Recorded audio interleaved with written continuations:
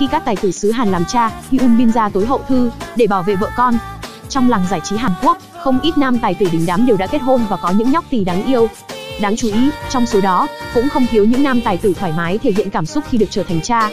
Đáng chú ý phải nói tới như Won Sang Woo, Ji Sung, Biren. Đầu tiên chính là Hyun Bin.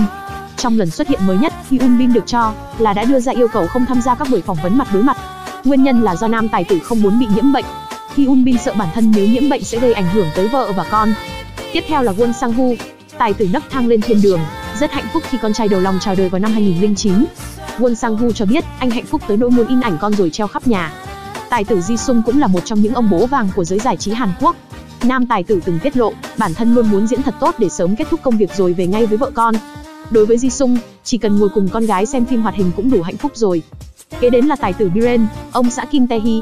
Vào thời điểm Kim Tae Hee mới mang thai, Biren vô cùng hạnh phúc.